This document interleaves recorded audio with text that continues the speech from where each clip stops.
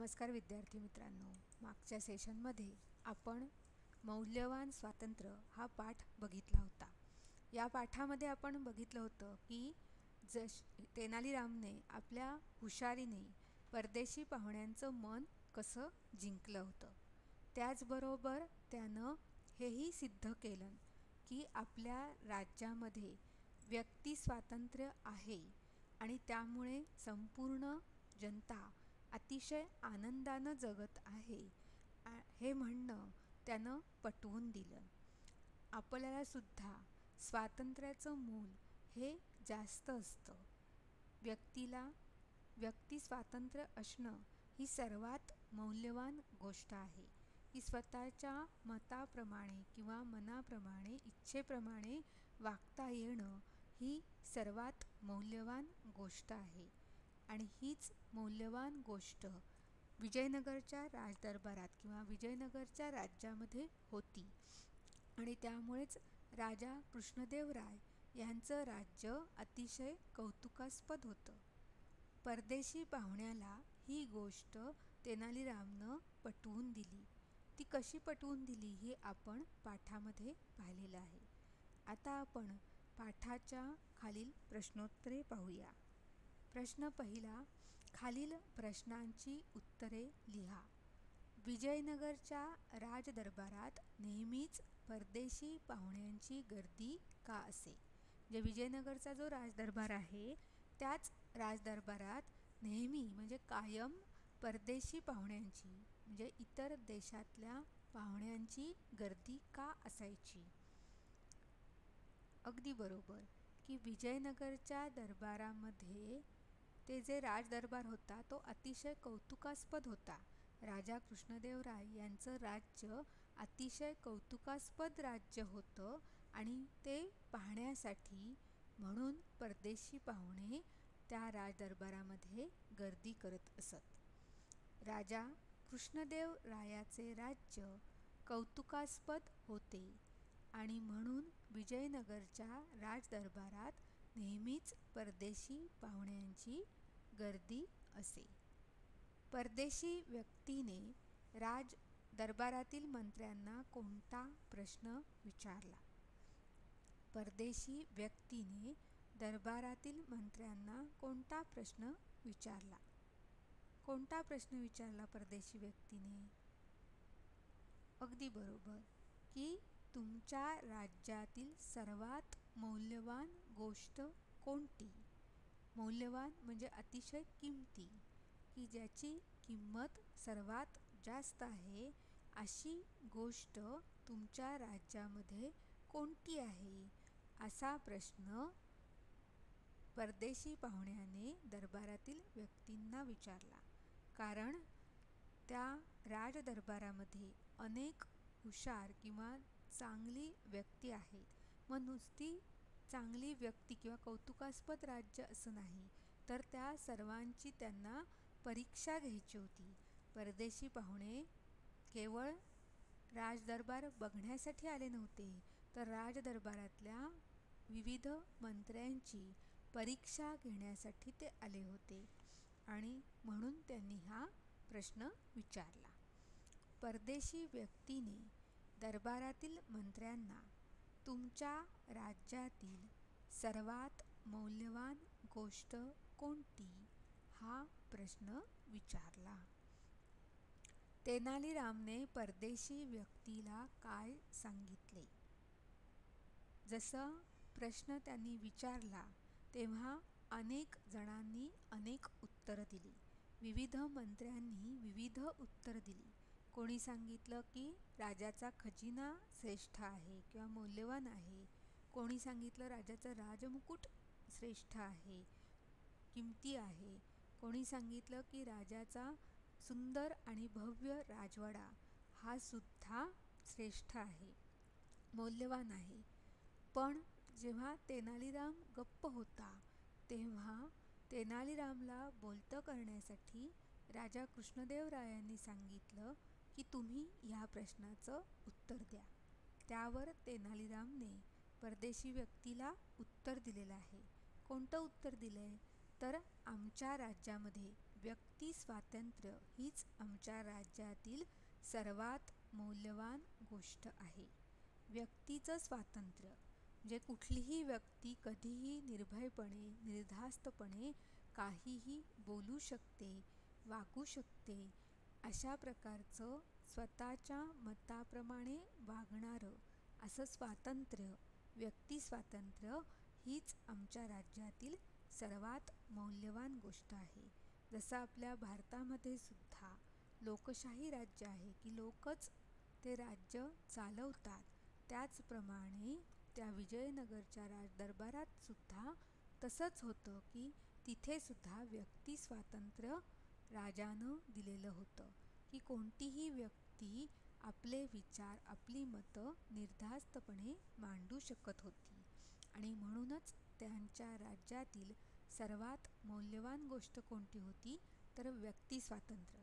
कारण कुठल्याही राजाचं राज्य असताना तिथे हुकुमशहा किंवा माझं ऐकलं पाहिजे. असा जो राजाचा भाग असतो तो तिथं त्या विजयनगरमध्ये कधी कुठेही नव्हता. तर प्रत्येक व्यक्तीला राजाला आपलं मत मांडण्याची संधी होती आणि हीच सर्वात मौल्यवान गोष्ट त्या राजदरबाराची होती. म्हणून परदेशी व्यक्तीला तेनालीरामनं सांगितलं की व्यक्ती स्वातंत्र्य हीच आमच्या राज्यातील सर्वात मौल्यवान गोष्ट आहे. राजा परदेशी गृहस्थाला काय म्हणाला? राजा परदेशी गृहस्थाला काय म्हणाला? तर राजा कृष्णदेवरायांनी हे ऐकलं की तेनालीरामनं त्यांना उत्तर दिलं की व्यक्ती स्वातंत्र्य ही आमच्या राज्यातील सर्वात मौल्यवान गोष्ट आहे.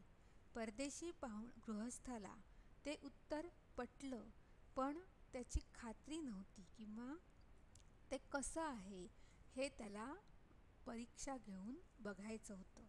मग तेव्हा त्याने सांगितलं की तेनालीराम तू हे म्हणतोस ते खरं आहे पण हे तुझं उत्तर खरं आहे किंवा खरोखरच तुमच्या राज्यामध्ये व्यक्ती स्वातंत्र्य ही सर्वात मौल्यवान गोष्ट आहे तर ते म्हणणं तू मला पटवून दे.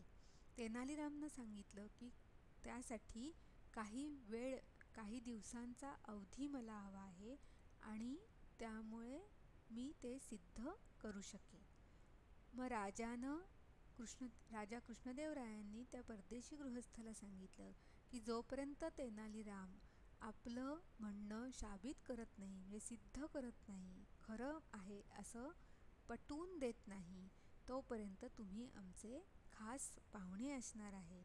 त्यामुळे तेनालीराम तुमची पाहुण्यांची जशी आपण व्यवस्था करतो तशी खास व्यवस्था करू. असं राजानं परदेशी गृहस्थाला सांगितलं. विश्रांतीगृहातील पाहुणचाराविषयी परदेशी व्यक्तीने राजाला काय सांगितलं? आता पाहुण्यांची खास सोय करण्यासाठी राजा कृष्णदेवराय यांच्याकडे विश्रांतीगृह होतं. विश्रांतीगृह म्हणजे रेस्ट हाऊस तर त्या रेस्ट हाऊसवरती त्या परदेशी पाहुण्यांना ठेवलं होतं. आणि पाहुणचार म्हणजे काय? तर आदरातिथ्य. त्यांचं जे काही हवं नको हे जी आपण काळजी घेतो पाहुण्यांची तर त्याला आपण पाहुणचार किंवा आदरातिथ्य असं म्हणतो. मग त्या विश्रांतीगृहामध्ये जो पाहुणचार राजा कृष्णदेवराय त्यांनी तेनालीरामनी जो दिलेला होता त्याबद्दल परदेशी व्यक्तीनं राजाला काय सांगितलं असा प्रश्न विचारला आहे. विश्रांतीगृहात त्याच्यावर तो परदेशी गृहस्थ उत्तर देतोय.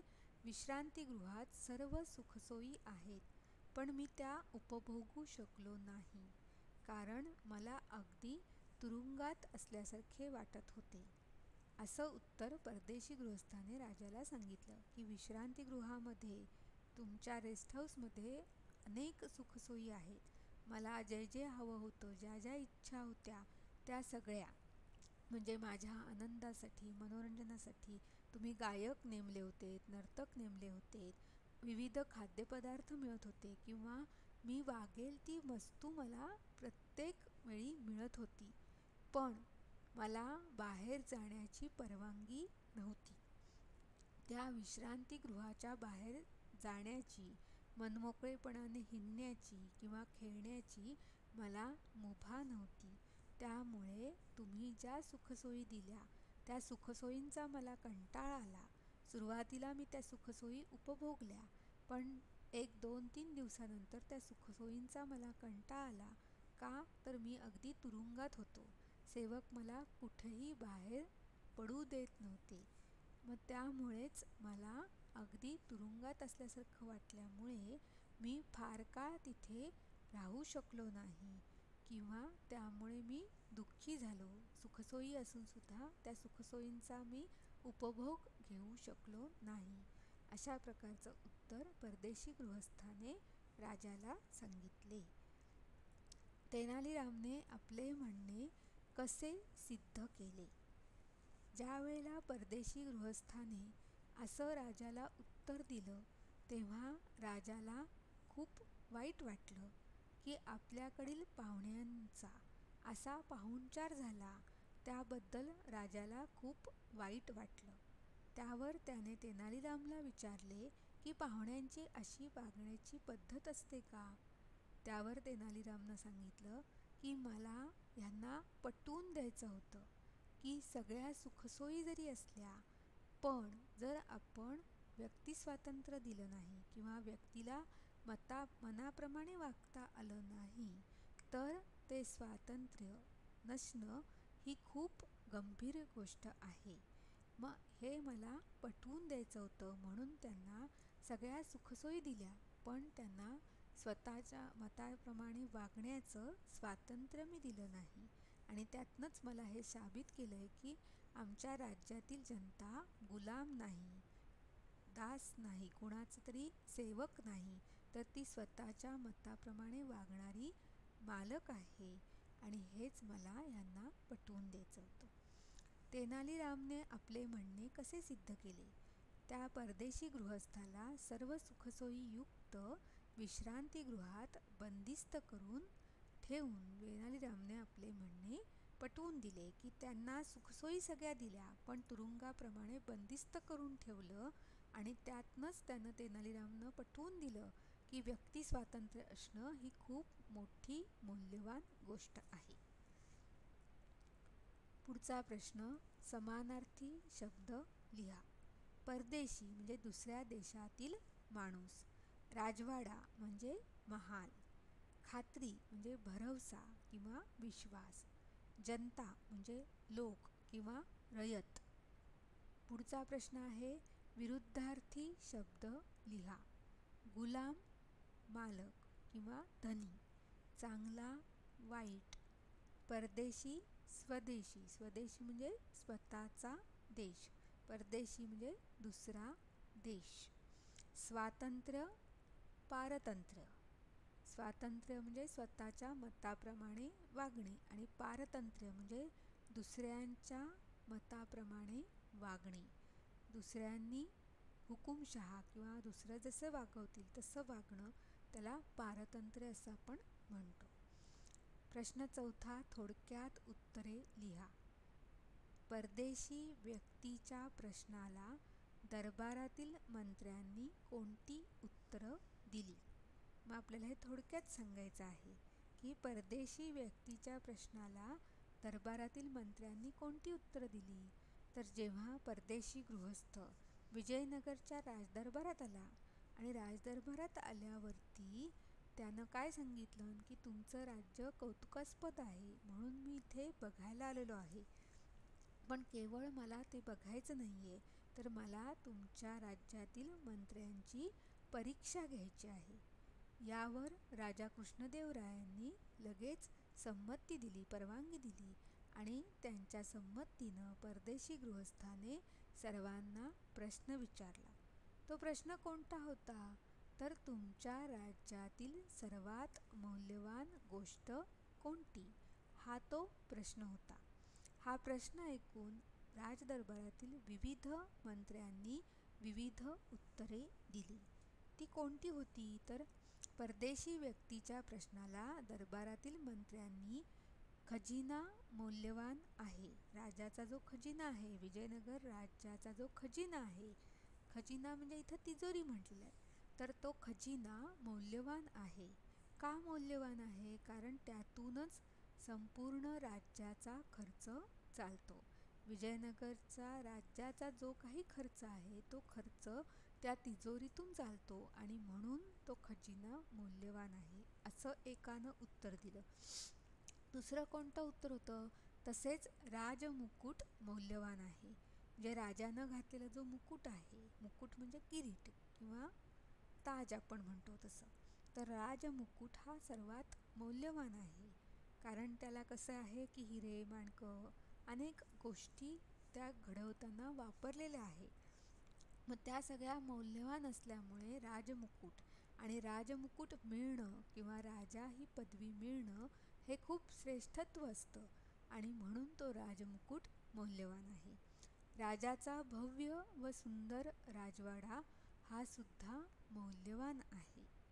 कारण का? तर असा सुंदर राजवाडा किंवा अनेक गोष्टी असणारा राजवाडा म्हणजे महाल हा सुद्धा मौल्यवान आहे अशी अनेक उदाहरणं मंत्र्यांनी दिली. पुढचा प्रश्न तेनालीरामने परदेशी व्यक्तीला कोणते उत्तर दिले?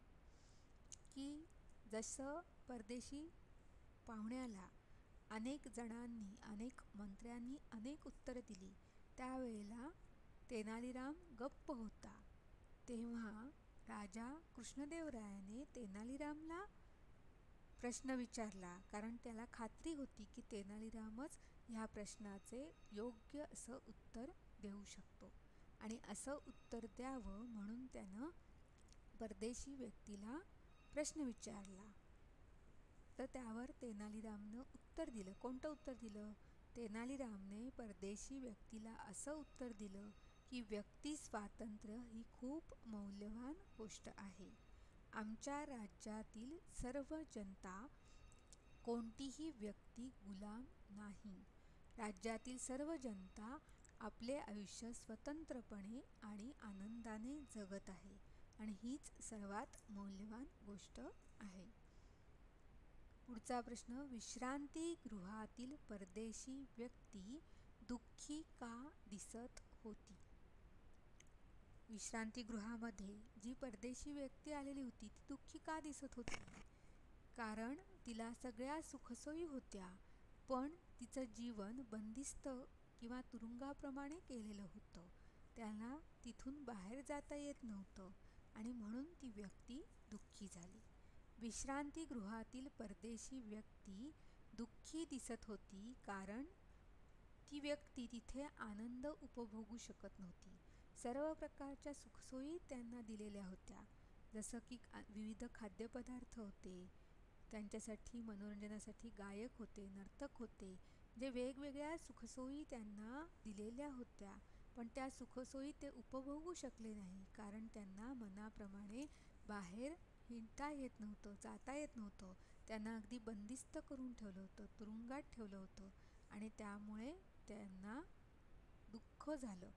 विश्रांतीगृहातील परदेशी व्यक्ती दुःखी दिसत होती कारण ते तिथे आनंद उपभोगू शकत नव्हते कारण त्यांना तुरुंगातच आहो असे वाटत होते.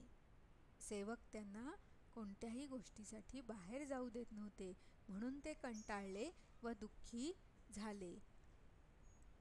तेनालीरामने स्वातंत्र्याचे महत्त्व कसे पटवून दिले? तेनालीरामने परदेशी पाहुण्याला सर्व सुखसोयीयुक्त विश्रामगृहात ठेवले. पण सेवकांना पाहुण्याला बाहेर जाऊ देऊ नये असा सक्त आदेश दिला. सुरुवातीला पाहुण्याला वाटले की आपल्या सुरक्षिततेसाठी हे आहे. पण पाच दिवसांनी ती व्यक्ती कंटाळली व दुःखी झाली. तेव्हा त्याला आप वाटलं की आपण तुरुंगातच आहोत आणि त्याच वेळेला त्याला आपल्या स्वातंत्र्याची किंवा व्यक्ती स्वातंत्र्य ही किती मौल्यवान गोष्ट आहे ह्या गोष्टीची जाणीव झाली आणि त्यामुळेच तेनालीरामनं ते म्हणणं पटवून दिलं किंवा साबित केलं सिद्ध करून दाखवलं की व्यक्ती स्वातंत्र्य हे खूप महत्त्वाचं आहे. आणि विजयनगरच्या राज्यामध्ये कोणतीही जनता ही गुलाम नाही. प्रत्येकाला आपल्या मताप्रमाणे जीवन जगण्याचा अधिकार दिलेला आहे आणि म्हणूनच ही जनता आनंदाने स्वतंत्रपणे आयुष्य जगत आहे. जर राजाच्या हुकुमामुळे त्या व्यक्तींना विजयनगरमध्ये बंदिस्त असल्यासारखं झालं असतं. किंवा राजाचे जर गुलाम ते झाले असते तर विजयनगरची प्रजा दुःखी झाली असती. पण असं झालं नाही किंवा असं राजा कृष्णदेवराय यांनी केलं नाही तर प्रत्येकाला स्वतंत्रपणे आनंदानं जीवन जगण्याचा अधिकार राजा कृष्णदेवराय यांनी आपल्या राज्यातील जनतेला दिला. आणि ही गोष्ट खूप मौल्यवान आहे. कारण तुम्हाला कोणत्याही सुखसोयी असल्या पण तुम्हाला स्वातंत्र्य नसेल तर तुम्हाला खूप मोठा त्रास होऊ शकतो. आणि हा त्रास दूर करायचा असेल आपल्याला आनंदानं जीवन जगायचं असेल तर आपल्याला व्यक्ती स्वातंत्र्य असणं खूप गरजेचं आहे. स्वातंत्र्यपूर्व काळामध्ये सुद्धा जेव्हा इंग्रजांनी आपल्यावर दीडशे वर्ष राज्य केलं तेव्हा अनेक क्रांतिकारकांनी किंवा समाजसुधारकांनी समाजामध्ये ह्याच्यासाठीच प्रयत्न केले की तुम्ही कोणाच्याही कोणाचाही गुलाम नाही आहात. तर तुम्ही व्यक्ती आहात आणि व्यक्ती म्हणून स्वतंत्रपणे जगण्याचा तुम्हाला अधिकार आहे. आणि हे त्यांनी पटवून दिलं. जसं लोकमान्य टिळकांनी सांगितलं की स्वातंत्र्य हा माझा जन्मसिद्ध हक्क आहे आणि तो मी मिळवणारच. त्याचप्रमाणे व्यक्ती स्वातंत्र्य असणं खूप गरजेचं आहे हे परदेशी पाहुण्याला तेनालीरामनं पटवून दिलं. असे कोण कोणास म्हणाले ते लिहा. हू सेट टू हुम कोण कोणास म्हणाले ते आपल्याला लिहायचं आहे. वाक्य आहे परंतु या सर्वांबाबत मला परीक्षा घ्यावयाची आहे. असं कोणी कोणाला म्हटलं तर परदेशी पाहुण्याने राजा कृष्णदेव राय यांना सांगितलं की तुमच्या राज्याबद्दल मी खूप ऐकून आहे पण ह्या सर्वांची मला परीक्षा घ्यायची आहे. ठीक आहे मी तुझे म्हणणे मान्य करतो. असं कोण कोणाच म्हणालं तर परदेशी गृहस्थ तेनालीरामला म्हणाला. जेव्हा तेनालीरामनं उत्तर दिलं की आमच्या राज्यातील सर्वात मौल्यवान गोष्ट व्यक्ती स्वातंत्र्य ही आहे तर त्यावेळेला हे म्हणणं मी मान्य करतो असं परदेशी गृहस्थ तेनालीरामला म्हणाला. पाहुण्यांशी वागायची अशी पद्धत योग्य आहे काय? पाहुण्यांशी वागायची अशी पद्धत योग्य आहे का? असं कोण कोणास म्हणालं? तर राजा कृष्णदेवराय तेनालीरामला म्हणाले. कारण ती परदेशी व्यक्ती जी विश्रांतीगृहामध्ये राहत होती त्यांची खास सोय तेनालीरामनं केलेली आहे. हे राजा कृष्णदेवराय यांना माहिती होतं. असं असूनसुद्धा ती परदेशी व्यक्ती दुःखी दिसत होती. म्हणून तेनालीरामला राजा कृष्णदेवराय असे म्हणाले की पाहुण्यांशी वागायची पद्धत योग्य आहे का? राजा कृष्णदेवराय तेनालीरामला म्हणाले ह्या पाठातून आपल्याला हाच बोध घ्यायचा आहे की व्यक्ती स्वातंत्र्य असणं किती गरजेचं आहे. स्वातंत्र्य असेल तरच आपण शारीरिक मानसिक कष्टातून दूर होऊ शकतो आणि आनंदानं नवीन नवीन प्रगती करण्यासाठी प्रयत्न करू शकतो. राज्याची भरभराट प्रगती ही स्वातंत्र्यावर अवलंबून असते. हेच आपल्याला ह्या पाठामधून शिकायचं आहे. धन्यवाद.